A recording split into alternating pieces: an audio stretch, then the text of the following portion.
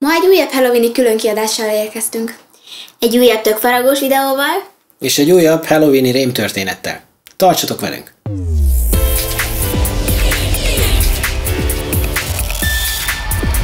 Sziasztok! Üdvözlünk benneteket a Two Generations Halloweeni különkiadásával. Ma az eredeti Candymannek a történetét fogjuk elmesélni. Egy esős Halloweeni éjszakán 1974-ben Ronald Clark O'Brien optikus fotók... Szóval megpróbáljuk még egyszer. Eddig már mondtam az optikust patikusnak, Szilvi oktopusnak, Szilvi, uh, Nori pedig tubusnak.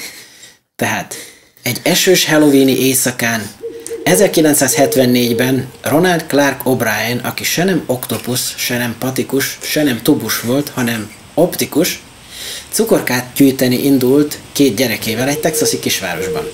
Hamarosan a szomszédja csatlakozott hozzájuk az ő két gyerekével, és így együtt járták körbe a környéket, bekopogtattak a házakon, és cukorkát gyűjtögettek, amíg ellenértek egy sötét házhoz. Nyilvánvaló volt, hogy nem volt otthon senki. A gyerekek azonban mégis ugyanúgy kopogtattak, mint mindenhol. Miután senki nem nyitott ajtót, továbbálltak.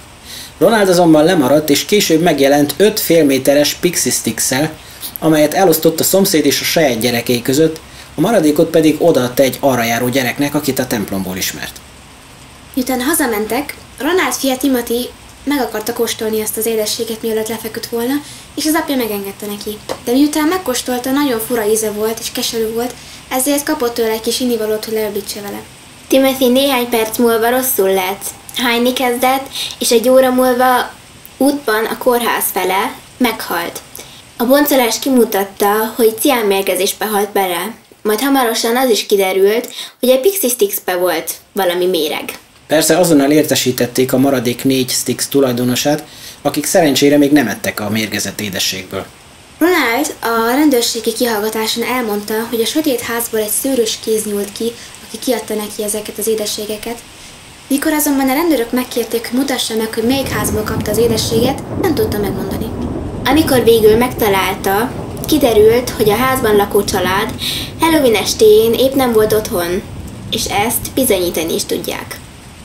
Végül fény derült rá, hogy nem létezett semmilyen rejtélyes szőröskező ember, hanem maga Ronald O'Brien állt a ciánnal mérgezett ö, édesség mögött, aki meg akarta ölni a saját gyerekeit, hogy a rájuk kötött életbiztosítási pénzből enyhítsen hatalmas adósságán.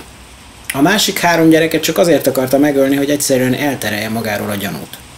A tettéért halálítélték, és végül ő lett az első texasi állampolgár, akit egy halálos injekcióval végeztek ki. Ez a történet egyáltalán nem legenda, hanem valóban megtörtént, és ugye valószínűleg nagyon sokan ismeritek a Candyman filmeket, most 2021-ben is megjelent Yaya Abdul Matin főszereplésével egy Candyman feldolgozás. Ennek azonban nem ehhez a történethez van köze, hanem ez egy teljesen más, szintén igaz történeten alapuló legendán alapszik. Tehát egy igaz történetből később legenda lett, városi legenda, és ezen a városi legendán alapszik a Candyman, aminek amúgy 1992-ben és 95-ben, valamint 99-ben szintén volt egy trilógiája, mégpedig Virginia Madsen főszereplésével. Halloweenhez hűen a lányok most is készítettek két töklámpást, amit itt láthattok a hátunk mögött, az elkészítésüket pedig ebben a videóban nézhetitek meg.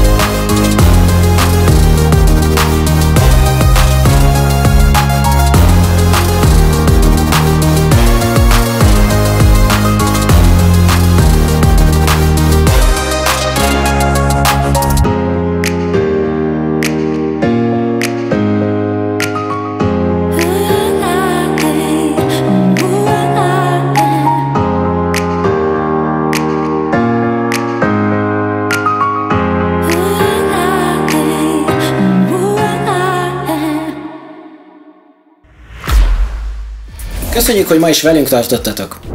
Ne felejtsetek el Lájkolni, Feliratkozni, kommentelni és követni bennünket Instagramon. Twitteren. és Baj McCaffin. Üdv a családnak, legyetek jók! Sziasztok! Sziasztok!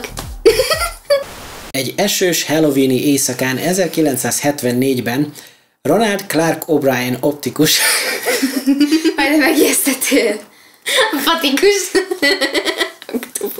Egy esős halloweeni éjszakán Belélek. egy esős halloweeni éjszakán 1974-ben Ronald O. Clark Clark. Ronald Clark O'Brien. Oh, Clark. Ronaldo Clark. Egy esős halloweeni éjszakán 1974-ben Ronald Clark O'Brien patikus Fatikus. Ó, Mindig patikus. jobb, mint Octopus. Három? De nem három.